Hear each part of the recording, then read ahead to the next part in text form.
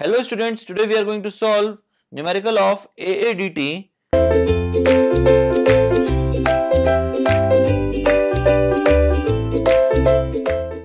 Question is given as a traffic engineer urgently needs to determine the AADT on a rural primary road. The collected data is shown below on a Tuesday during the month of May. Determine AADT of the road. Now in this table time period and vehicle is shown from 7 am to 8 am the number of vehicle is 400. From 8 am to 9 am the number of vehicle is 535. Similarly from 9 am to 10 am the number of vehicle is 650. From 10 am to 11 am the number of vehicle is 710 and from 11 am to 12 pm the number of vehicle is 650. Now the hourly expansion factor for the various times are as under for time period 7 to 8 the hourly expansion factor is 29 for 8 to 9, 22.05, 9 to 10, 18.80, 10 to 11, 17.10 and 11 to 12, 18.52.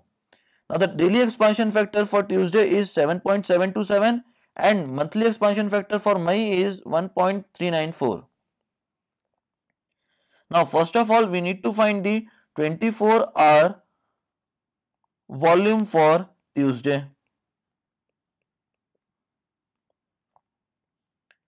It can be determined by multiplying the number of vehicle with the hourly expansion factor. So it will be equals to 400 into 29 plus plus 535 into 22.05 plus 650 into 18.80 plus 710 into 17.10 plus 650 into 18.52.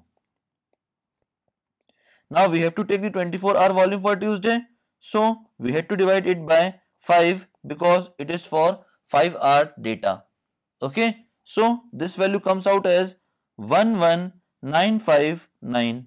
Total 7 day volume will be equals to we have to multiply this value that is 11959 by the daily expansion factor that is 7.727 and if we want to calculate the average 24 hour volume then it will be equals to 11959 into 7.727 now this is for 7 days and we want for 1 day calculation. So we will need to divide this by 7 because in 1 week there will be 7 days so it will be equals to 13201 that is the average 24 hour volume.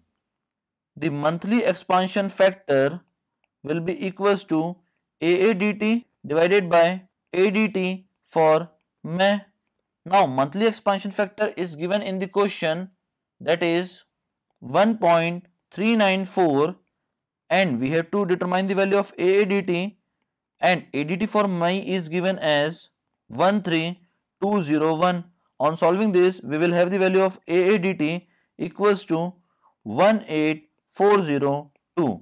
That will be the complete solution of this question. Thank you very much students.